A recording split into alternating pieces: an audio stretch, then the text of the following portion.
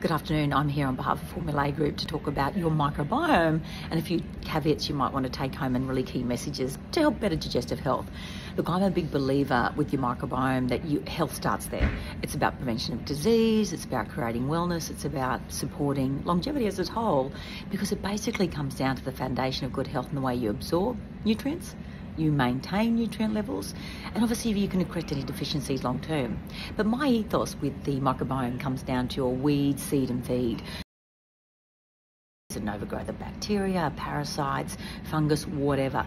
And what are you're seeing at the other, other end is bloating, digestive health, indigestion, uh, fungal infection, sugar cravings, food intolerances. These are all signs that you're seeing that really led to poor digestive health. So first thing is, let's investigate and see if there's an issue. First thing is, when we weed it out, we're going to take anything which shouldn't be there overgrown, remove it, and inoculate with good probiotics.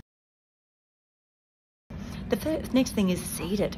Um, you have to seed your microbiome with a probiotic and a prebiotic. The probiotic would never replace what you've got, but it's so important for immune modulation. So you definitely seed, plant that seed, and that's your probiotic. And anyone who's had their appendix out, please understand you should be on a probiotic for a long time. You're losing that daily seed. But I put a lot of my clients on probiotics every day just for good health, disease management, and optimization. Okay, weed, seed, and feed. Okay, what are you going to feed it with? And this is where the prebiotics come in, and they're certainly the evolution of what we need to look forward to every day. Okay, so when you're going to feed your microbiome, now your microbiome feeds itself every day. It makes a whole plethora of short chain fatty acids, butyrate being the main one, and therefore it self populates.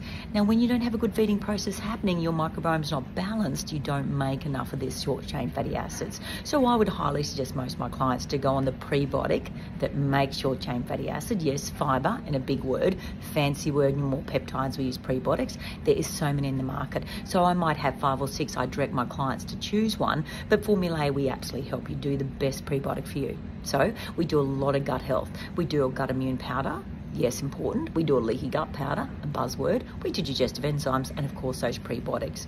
So, if you want more information, please click on the button below to talk about. Um, your Importance Your Microbiome handbook that is free of charge to anyone who's listening to this video or dialing into Formulae for the first time.